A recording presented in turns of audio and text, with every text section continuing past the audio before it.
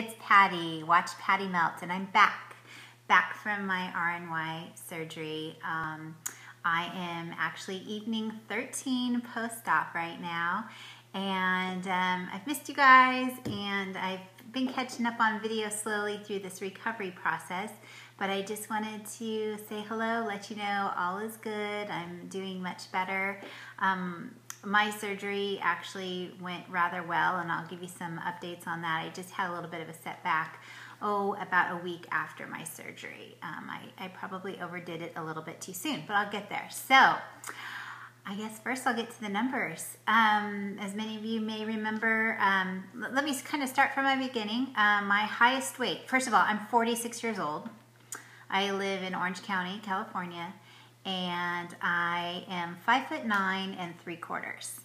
And my highest weight that I ever knew, which was last fall, I was 360 pounds. Um, I started watching what I was eating, and by January of 2014, I was at 343 pounds. And at that point, um, decided to go on the OptiFast program and uh, did the OptiFast program all the way up until my surgery date, which was uh, just two, uh, almost two weeks ago on tax day, April 15th. And on my uh, surgery day, um, I weighed in at 290. So I lost about 53 pounds doing the OptiFast program. So anyways, yeah, my goal was to be under 300 and then I revised it a little bit and I was hoping to get to 290 or below in the morning of surgery. I actually weighed at home and I was 290.4. So that was um, that was a big accomplishment. So anyways, so you probably want to know where I'm at today being 13 days out. Um, I have lost 12 pounds since surgery. Um, I'm at 278, which I thought was completely impossible. Um, after losing a significant amount of weight on OptiFast, I kind of thought, you know, I'm probably not going to have those big drops like a lot of people have. And, and I think I probably would have a bigger drop if I hadn't lost weight prior, but who knows? I'll take whatever. I'm completely happy. I mean, if I lost three pounds, I would have been fine. Um, but I, I will take the gift of the 12 pounds that I've lost since um, having my RNY surgery. So um, just wanted to um, share that with you and also to share with you some of my thoughts. I know I came to you before with my thoughts on as I was going into surgery and the things I was looking forward to. Um, what I did not include in that video as far as, um, well, basically just wanted to share some emotional things um, as I was leading up to my surgery and since then. So I'm going to refer to my phone because I took a lot of notes. Um, a uh, couple things that happened. I mean, this is not, I, again, I'd been on OptiFast for quite a while, and the morning of my surgery, when I was showering, I noticed, ah, all this hair was starting to fall out. I had a kind of nice clump in the shower, so that was a little bit disturbing the day of surgery, but knew that was going to happen at some point. It's just, it started that day. A couple things started that day. Um, and then the other thing was, um, you know, leading up to surgery, I was a pretty cool cat up until about, oh, two, two days before, and then the nerves started setting in. Um, and when I say nerves, it was just actual fear. The whole time, my biggest fear has been actually going through the procedure. It wasn't about what life's going to be like for me on the other side. It kind of felt like I had a running start to that with, sorry, but I'm bringing it up again, doing the OptiFast program, which is a liquid diet. Um, so my, my greatest fear, um, and I had to put it in the hands of God, was, Lord, bring me through the surgery, please. And um, I knew it was something that was probably heavily in the back of my mother's mind as well. My father passed away uh, in surgery when he was 59 years old. And so um, it was complete to shock to our entire family when that occurred. And obviously, and it changed our lives greatly after that. Um, so that was that completely was my biggest fear. So up until about two days before, I tried to put that out of my mind, but it got the better of me, you know, the couple days before. And then in addition to that, um, I was emotional, but I wasn't ready for others around me to be emotional. I just thought, okay, I just need to be zoned in here. And I wasn't ready for um, you know, my, my daughter had some emotion. Um, she wasn't sleeping well the two nights before, and it had to do with my surgery. She, you know, had a lot of questions the night before, and then my mom too, of course. You know, she she um, they they're completely supportive. Just they had fear too, and so we had a couple of good cries together. And uh, i'm gonna get emotional. And my husband and i, I, I the morning of surgery um, going there and so forth i, I cried. I just i was very fearful. Um, all went well the morning of surgery. I got checked in at the hospital.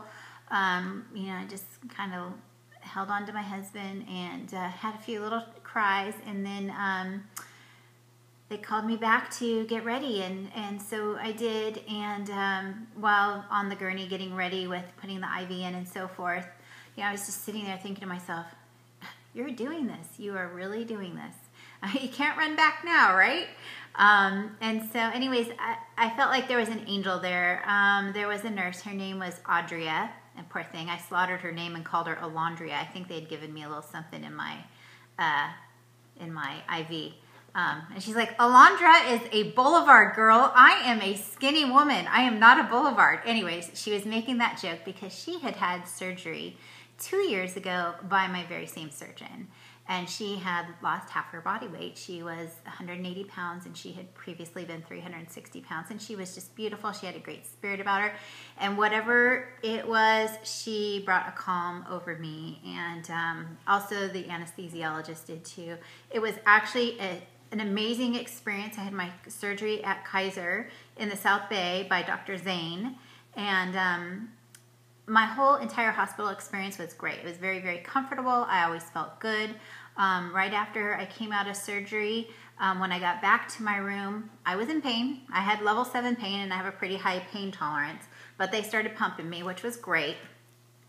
And I saw my daughter sitting there in the room, and I was thinking, and she, I could just she had a look on her face, and it's one of those looks you hardly ever see. And it was a look of fear. So I thought to myself, if you can get up and walk, you need to walk. And I had to go to the restroom. So I said, I'm going to go to the restroom. And I'm going to give you so much TMI here, it's not even funny, and I apologize in advance. But so I go to the restroom, and boom, uh, my monthly friend showed up. Like, wonderful timing, beautiful. It happened while I was in surgery. Great. Um, and so once I came out of the restroom, I said, I'm going for it, I'm walking. And I walked the whole wing, and that completely relieved her. Um, she knew I was in a lot of pain prior, and so it was it was a good thing for her to see me be able to walk and go for it.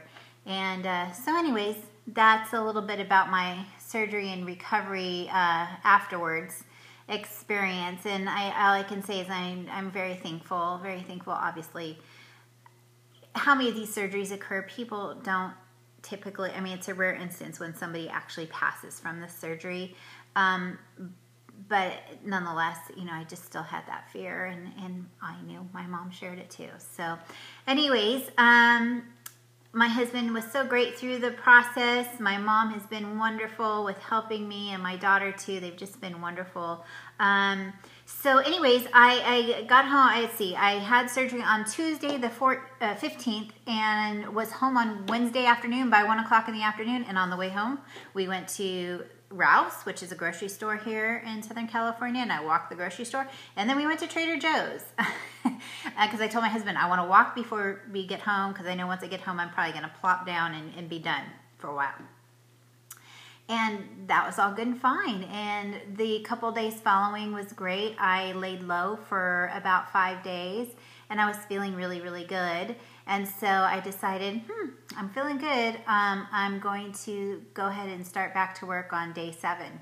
And I did. Um, that day was met with a couple things. First of all, I was constipated and had a major event that morning, which was not pleasing. And I'll put that in another video because I'm going to do a video on all the wonderful bodily function changes that occur after you have weight loss surgery, or that happened to me. I'll, I'll just put it there, and so that you can TMI, not watch it if you're not interested.